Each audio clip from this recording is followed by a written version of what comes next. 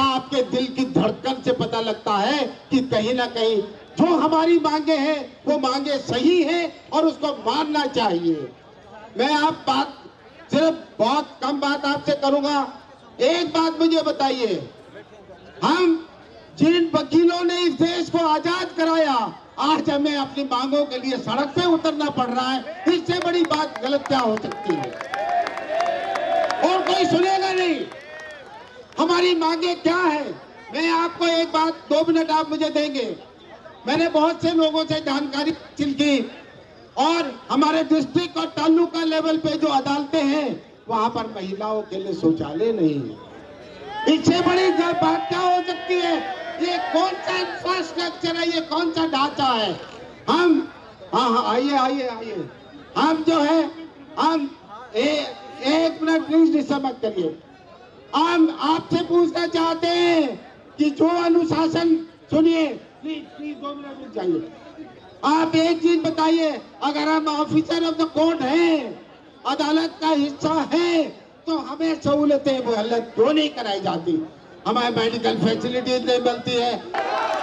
हमें हमारा अनुशासन बहुत ज़रूरी है। हमें हर किसी से प्रार्थना है कि हमारी व्यवस्था को भंग ना करें और भाषण में भंग ना करें। मैं आपको ये कह रहा था, अगर हम ऑफिसर ऑफ़ द कोर्ट है तो हमें मुहैया क्यों नहीं कराई जाती मेडिकल और पेंशन की ज़रूरत? हमारे हमारे अधिकार को, हमारे अधिकार को हमें मिलना चाहिए, यही सबसे बड़ा संघर्ष है। दोस्तों, हम आज वकील कौम यहाँ इकट्ठी हुई है। आपको मैं बताना चाहता हूँ दो बातें। आज के हालात को समझना बहुत ज़रूरी है। और क्या है?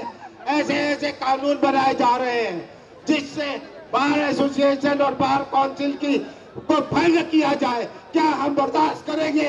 हम उसका बर्दाश्त नहीं करेंगे। ऐसे ऐसे कानून बनाए जा रहे हैं, जिसमें वकीलों के अलावा ऐसे ऐसे लोगों को वहाँ पर वकालत करने के लिए इजाज़त दी जा रही है। जो वकील नहीं है, क्या हम उसको बर्दाश्त करेंगे? ऐसे ऐसे कानून बनाए जा रहे हैं, जिसमें बाहर के लोगों को, बाहर के फॉरेन लाइवर्स को अलाउ किया जाता है। क्या हम इसको बर्दाश्त करेंगे? हमें आज हमारे अस्तित्व का सवाल है। आज हमारे डिग्निटी का सवाल है। आज बार काउंसिल और बार एसोसिएशन और बार जितने भी वकील दोस्त और साथी हैं, हमारे साथ अगर हम सबको हम सबको एक बात कर मज़बूत रहना है, हमें किसी से डरने की ज़रूरत नहीं है। हम किसी का विरोध नहीं कर रहे हैं। हमारे यहाँ कोई, अब हमेशा वकील एक बात पर इकट्ठा हुआ है। हम आपको बताना चाहते हैं कि जितनी हमारी समस्याएँ हैं, हमने सारी एक एक चीज़ को बताया है और उन समस्याओं पर गौर करके हमें उस पर हासिल करना हो और हमेशा हर बार, हर वकीलों के लिए हम संघर्ष करेंगे और हमारी समस्याओं पर समाधान करना होगा। हमारी समस्याओं का समाधान करना होगा। हमारी मांगे मंजूर करनी होगी। यही हमारा प्रण है। आपका बहुत बहुत धन्यवाद।